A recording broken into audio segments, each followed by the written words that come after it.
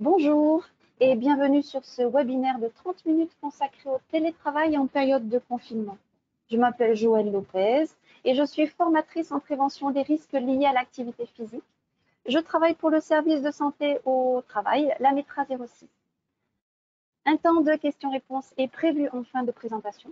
Vous avez un onglet sur l'outil qui vous permet de poser des questions pendant la présentation, n'hésitez pas. Ma collègue Anne Lacour, avec qui nous avons préparé ce diaporama, euh, est aux manettes. Et puis, à la fin de ce webinaire, nous serons rejoints par Monsieur Jean-Denis Clary, ingénieur conseil à la, CARSAT, à la CARSAT Sud-Est, qui pourra répondre également à vos questions. Bonjour Jean-Denis. Bonjour Joël. Alors, avant de commencer, je voudrais vous présenter un petit peu le service de santé au travail. Notre service de santé au travail donc a quatre missions. La première mission, ce sera la surveillance de l'état de santé des salariés. La deuxième mission, le conseil aux entreprises, euh, la veille sanitaire et les actions euh, réalisées en entreprise. Et pour euh, pouvoir réaliser ces missions, nous avons une équipe pluridisciplinaire composée de médecins du travail, qui sont au centre et qui animent et coordonnent les, actions euh, de toute une équipe de professionnels, comme des infirmiers, des ingénieurs en prévention, des ergonomes, des techniciens, des ASP, des assistantes en santé-travail, des psychologues du travail, des assistantes sociales, une assistante sociale et des formatrices. Ces missions s'adressent à nos 30 000 euh, adhérents qui regroupent à peu près 200 000 salariés. Le télétravail depuis 2017 a un petit peu évolué. Euh, il peut s'exercer par un accord simple entre l'employeur et le salarié. Le contrat n'est plus obligatoire. Et en l'absence de charte ou d'accord au sein de l'entreprise, le travail peut être demandé par tous les salariés euh, et par tout moyen, mail, euh, demande orale. Il n'y a pas de délai de prévenance nécessaire. Et il est préférable, bien sûr, hein, d'anticiper pour bien organiser le travail. L'employeur peut refuser la demande du salarié, mais il doit motiver sa réponse, comme par exemple des tâches non compatibles avec le télétravail. En télétravail, nous passons en moyenne 8 heures par jour devant notre ordinateur, auquel nous pouvons ajouter jusqu'à 3 heures sur d'autres écrans, le téléphone, la tablette, la télévision. Mais quels sont les risques liés au télétravail? Eh bien, que le salarié travaille en entreprise ou à la maison, les risques ne sont pas différents mais la séparation physique du télétravailleur avec l'entreprise à laquelle s'ajoute une installation du poste de travail parfois hasardeuse feront augmenter certains risques, des risques liés à la qualité du travail, à la vie personnelle et à la santé. Nous allons donc euh, vous proposer de voir ensemble les principaux risques d'atteinte à la santé, que sont les troubles musculo-squelettiques, la fatigue visuelle et le stress, nous vous apporterons des conseils en prévention pour diminuer ces différents risques. Et puis, dans, une deuxième partie, nous aborderons la spécificité du télétravail en période de confinement et nous vous apporterons des conseils vous permettant de ne pas travailler en mode dégradé. Alors, la première atteinte à la santé, ce sera le trouble musculo-squelettique. Eh bien, c'est un processus qui va se développer au cours du temps sous forme de micro-lésions au niveau des muscles et des tendons. Les troubles musculo-squelettiques ou TMS s'installent de façon progressive et les plus répandus, ce sont les tendinites de l'épaule et du coude, le syndrome du canal carpien et les lombalgies. Il ne faut jamais oublier qu'un trouble musculo-squelettique, lorsqu'il est installé, peut aller jusqu'à une inaptitude définitive à un poste de travail. Et lorsque nous travaillons en assis pendant des heures devant notre écran, les groupes musculaires les plus sollicités, eh bien, ce sont les trapèzes, et le psoas. Les trapèzes sont situés sur le haut du dos et ils sont fortement sollicités par la position de la tête que nous maintenons inclinée pendant plusieurs heures sur, notre clavier. Et puis le psoas, lui, il est largement sollicité en contraction courte en raison de la position assise maintenue pendant plusieurs heures d'affilée. Ces muscles euh, se gorgent alors de toxines qui n'arrivent pas à éliminer ce qui va provoquer de nombreuses douleurs comme les contractures musculaires, les lombalgies, les tendinites, etc. Et pour limiter l'apparition de ces TMS potentiels, euh, nous allons vous demander d'être vigilant sur plusieurs points. Tout d'abord, comment s'installer à son poste de travail? S'asseoir sur une chaise qui permet de poser ses avant-bras sur la table avec un angle à 90 degrés au niveau des coudes. Se tenir droit et regarder droit devant soi sans baisser la tête.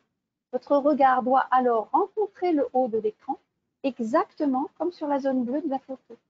Une fois ce réglage de l'écran effectué, la personne pourra balayer du regard tout l'écran sans incliner la tête. La distance conseillée pour installer euh, son écran est la longueur du, bras, où elle représente à peu près entre 50 et 70 cm.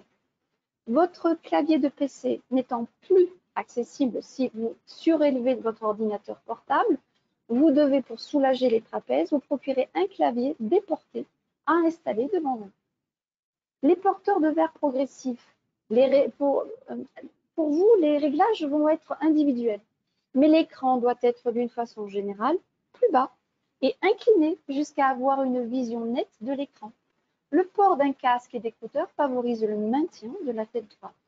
Et en parlant de votre installation, choisissez un plan de travail pas de canapé, pas de travail sur les genoux, pas de table basse. Essayez de mettre en place un aménagement vous permettant une alternance de posture assis et debout. Pour le matériel, nous pouvons vous proposer euh, trois petits exemples comme euh, les souris. Alors, il existe beaucoup, beaucoup, beaucoup de modèles. La souris verticale sera toujours à prioriser.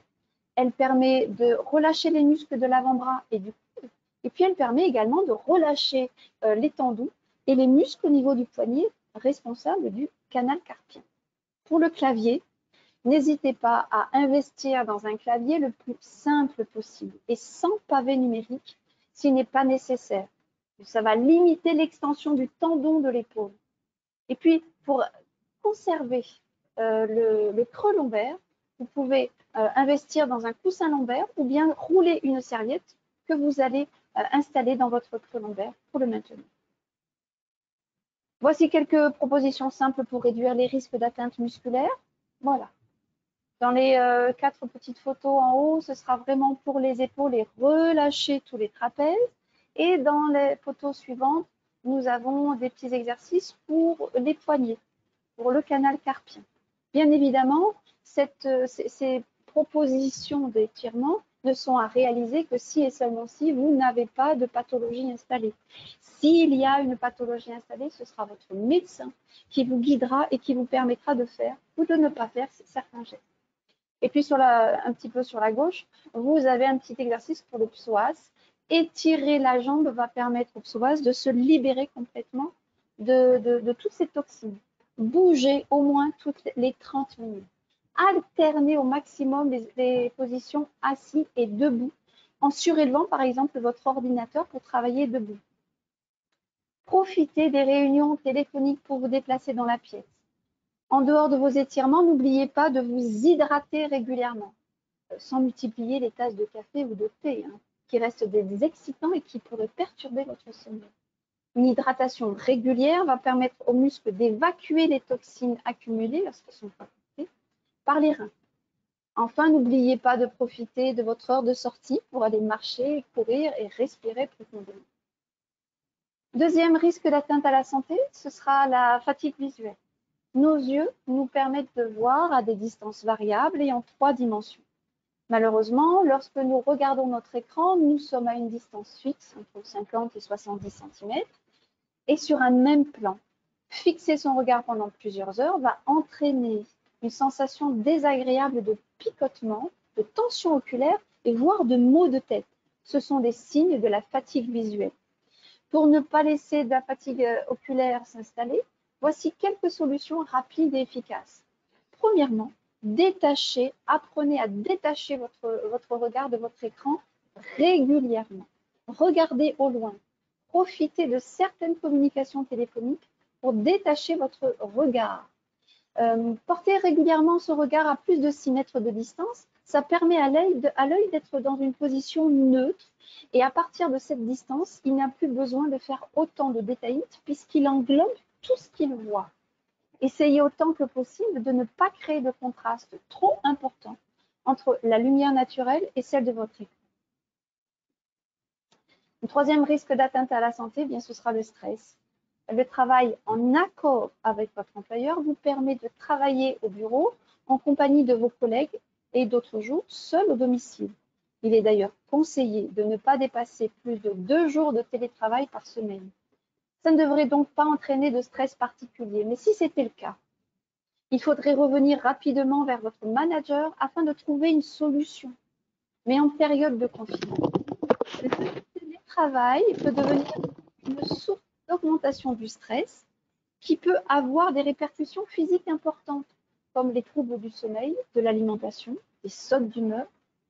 Mais quelle que soit notre vulnérabilité, nous partageons tous une solution pour faire diminuer cette sensation de stress. C'est tout simplement la respiration.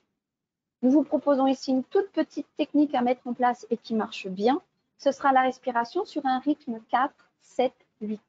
J'inspire pendant 4 temps, je bloque pendant 7 temps et je vais expirer doucement pendant 8 temps. Je peux répéter cet exercice jusqu'à ressentir une certaine détente. Pour le télétravailleur habituel, eh bien, euh, l'ANACT, qui est euh, l'Agence nationale de l'amélioration des conditions de travail, a fait une enquête et elle l'a publiée euh, au mois d'avril 2020. Ça nous apprend que 50% des salariés qui télétravaillent actuellement ont déjà une expérience de télétravail régulier. Pour ceux-ci, sans surprise, ils bénéficient d'un meilleur équipement, d'un meilleur environnement de travail et ils ont également une meilleure perception de leur efficacité au travail. Mais qu'en est-il des personnes, des autres salariés qui font leur première expérience de télétravail en période de confinement? Eh bien, cette même enquête de l'ANACT nous apprend qu'un salarié sur trois travaille dans un environnement inadapté. 50% s'estiment plus fatigués qu'à l'accoutumée et 45% ont le sentiment de travailler plus qu'à l'ordinaire dont une majorité de managers. Ici, nous l'expérimentons tous les jours avec notre directeur du service technique qui est sur tous les fronts à la fois, entre ceux qui télétravaillent et ceux qui sont en présentiel, entre la réunion, euh, les, différentes réunions et tout son travail autre. Euh, il faut quand même souligner que le télétravail en confinement nous a été imposé. D'ailleurs, la décision et la mise en place a été très rapide et pratiquement sans préavis. Il est effectué à temps plein et au domicile, sans retour prévu au bureau. Cela peut créer en même temps un sentiment d'isolement. Il se pratique donc nécessairement à domicile et il est souvent dans, un environnement familier un petit peu particulier. En ce moment, le conjoint peut également être en télétravail. Les enfants sont à la maison et suivent aussi des cours à distance. Et puis, le matériel dont nous disposons ne nous permet peut-être pas de travailler dans des positions confortables. Et enfin, pendant cette période de crise, le télétravail risque d'accroître le risque passé en, en, comportement sédentaire. Excusez-moi.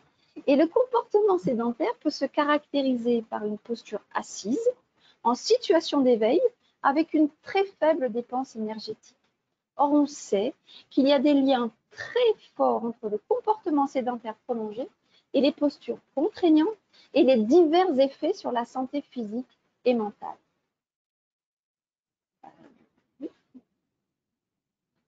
Voilà. C'est pour cela qu'il est important pendant cette période de définir, de délimiter un espace de travail. Choisissez un endroit pour installer votre ordinateur, évitez les tables basses, le canapé et voir s'il y a une possibilité de créer un espace assis debout puis ensuite, définissez un rythme de travail. En fait, définir les horaires et respecter les coupures, les coupures pour faire des pauses café, les repas, les pauses autres, euh, va euh, vous permettre de séparer plus facilement le personnel du professionnel. N'hésitez pas à organiser votre journée pour le lendemain. Essayez de ne pas vouloir tout faire et finir dans la même journée.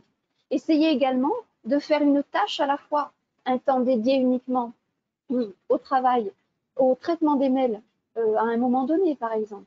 Et si vous êtes manager, soyez plus souple avec vos équipes et faites des points plus réguliers avec les personnes qui n'ont pas l'habitude de travailler en télétravail. Pour les autres, eh gardez un contact régulier avec les managers et les collègues à l'aide de réunions hebdomadaires via les plateformes de télécommunication. Euh, faites un point régulier par rapport aux objectifs et à la charge de travail. N'hésitez pas à partager vos emplois du temps.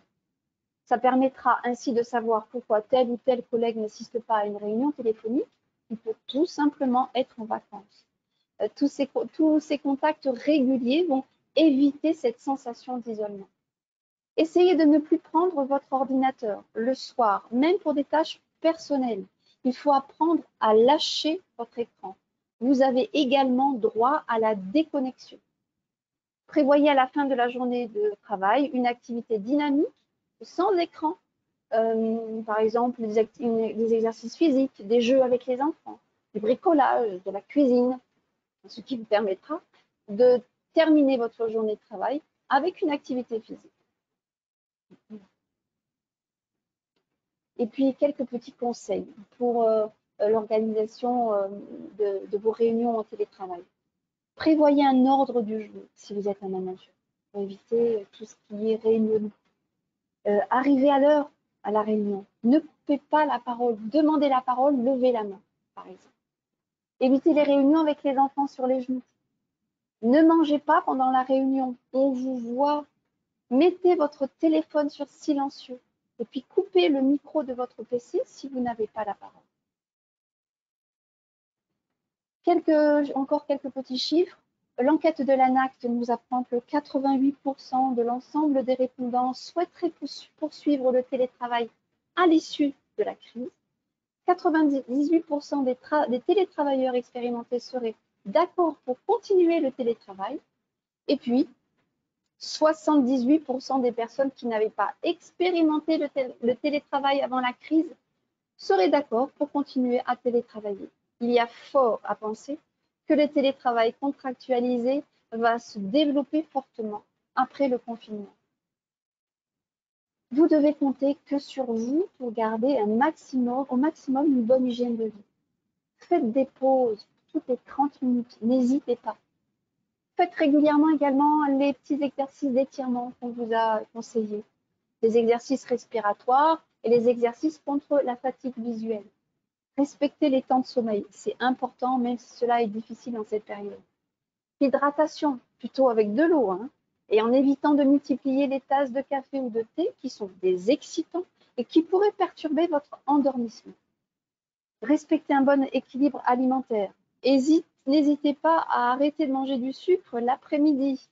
Euh, mangez à heure fixe en évitant les grignotages, même si le frigo n'est pas très loin.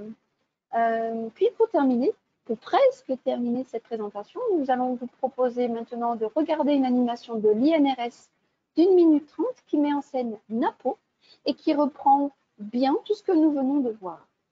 Alors,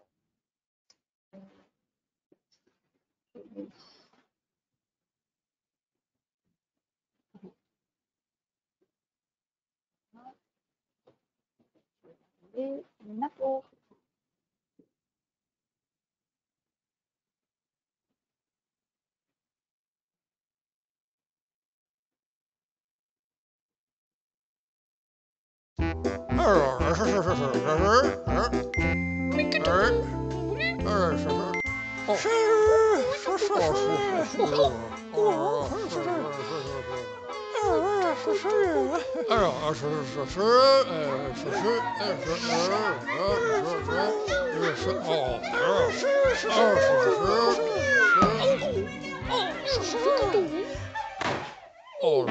Oh, Oh,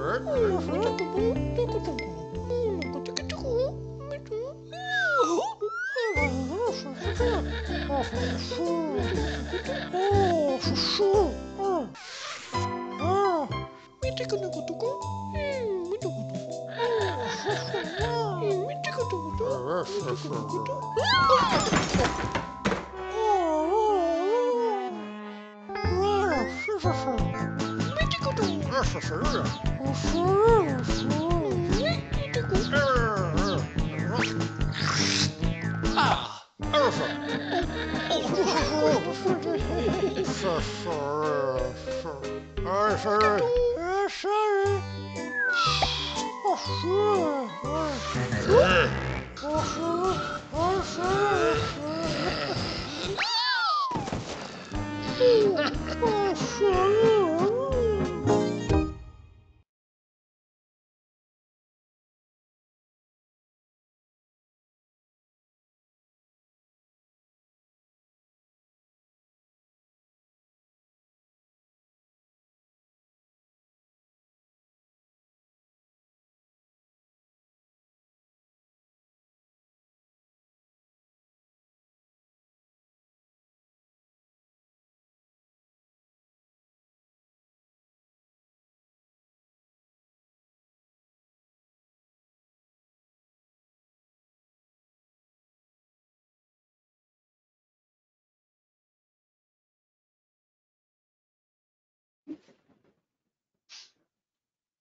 Euh, voilà. Je vais repartir sur le diaporama. Voilà. Euh, j'ai récupéré tout le monde, c'est bon. Allez.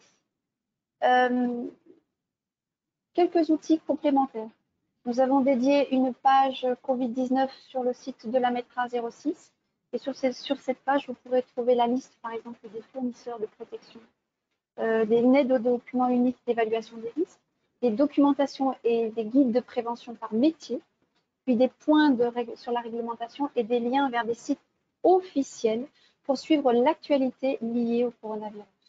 Et bien sûr, le site du gouvernement, euh, qui est le site officiel. Euh, quelques outils complémentaires. Je vous propose même de photographier euh, cette page pour, euh, pour, les, avoir tout de suite de façon complémentaire. Ce webinaire sera mis sur notre site internet et sur notre page YouTube. Euh, petit rappel, demain, jeudi 7 mai, il va y avoir une présentation sur le document unique d'évaluation des risques, comment mettre à jour le document unique pendant cette période de pandémie. Et le 20 mai, euh, n'hésitez pas également à vous inscrire pour euh, le Covid-19 RPS qui sera présenté par nos psychologues Nous allons maintenant passer à la séance de questions-réponses avec Jean-Denis Clary. Jean, est-ce que vous êtes là? Oui.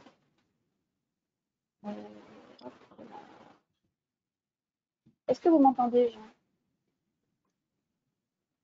Jean, Jean-Denis Ah, moi je suis là, oui, tout à fait. moi je vous ah, entends. D'accord. Jean-Denis vous entend. Alors, avant de commencer la petite séance de, questions-réponses, je voudrais euh, vous lire, vous donner une information qui, vient de nous paraître euh, de l'AGFIP. C'est Madame Lorenzo, Muriel Lorenzo qui nous vient de nous la donner. En fait, l'AGFIP euh, finance jusqu'à 1000 euros le poste d'un salarié travailleur handicapé en télétravail, notamment si le télétravail n'était pas mis en place précédemment par l'entreprise. Cette mesure est valable jusqu'au 30 juin 2020.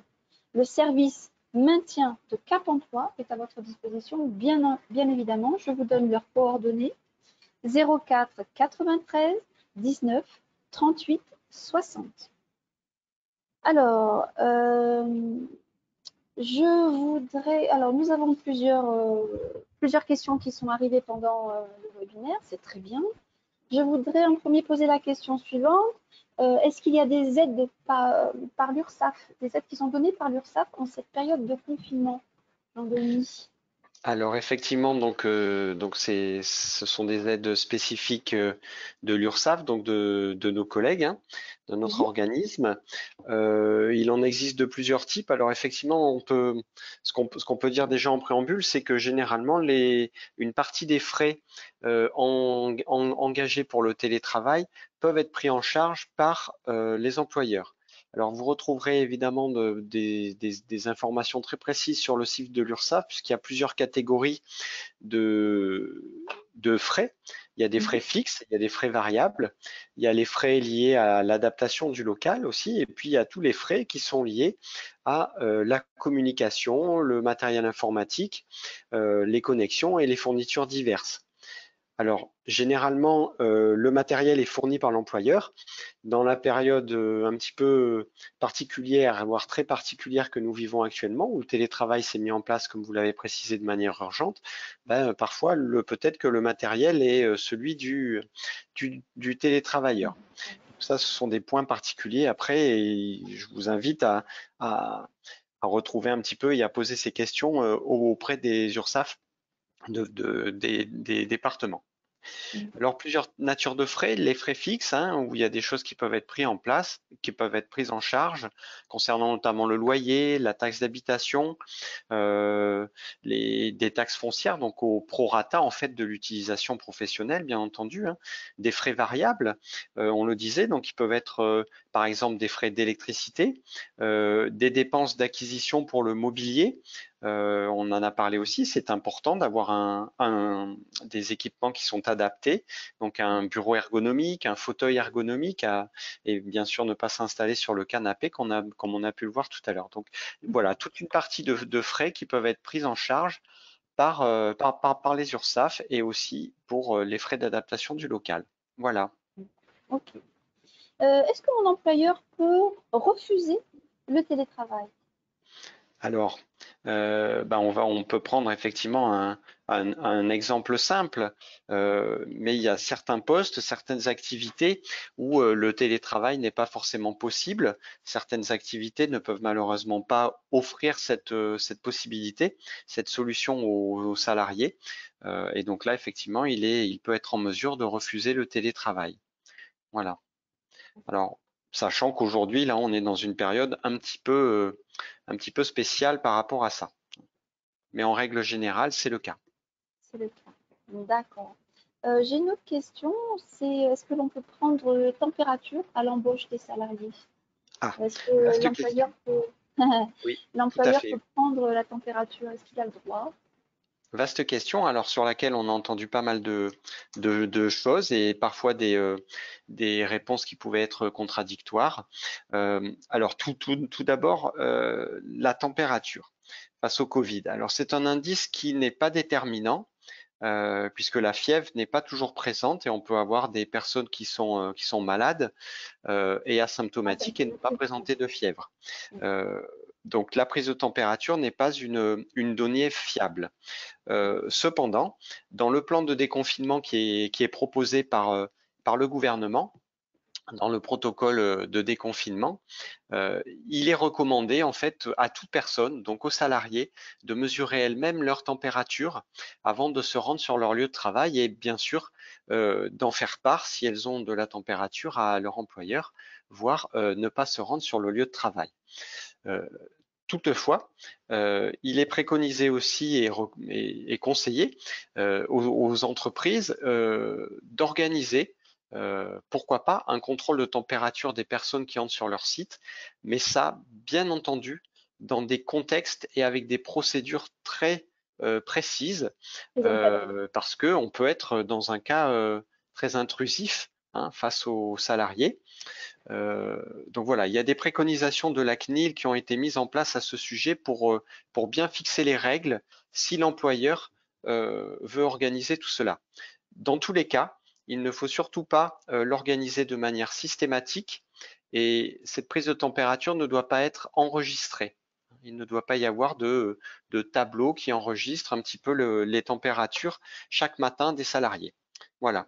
Donc il y a des mmh. choses qui existent, mais vous voyez, c'est plutôt euh, de, la, de la déclaration par le salarié qui est conseillée. Mmh.